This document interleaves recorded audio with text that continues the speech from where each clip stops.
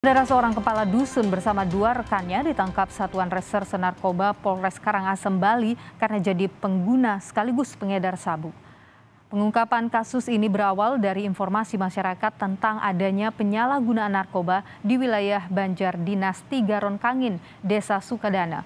Saat penggeledahan di rumah pelaku, petugas menemukan dua paket sabu yang sudah ditempel di depan rumahnya serta tujuh paket sabu yang ditanam di kandang babi.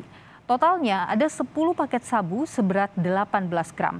Polisi juga menyita dua sepeda motor, uang tunai sebesar Rp950.000 yang merupakan hasil penjualan sabu, dan tiga buah ponsel, bong, buku tabungan, dan kartu ATM.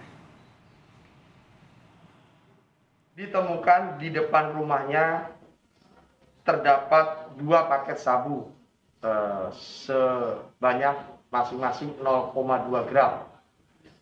Setelah itu di belakang rumah atau di samping e, kandang babi ada tujuh paket yang ditanam di dalam tanah ini sepatnya dimasukkan ke dalam ini tujuh paket masing-masing e, sebesar 0,2 gram.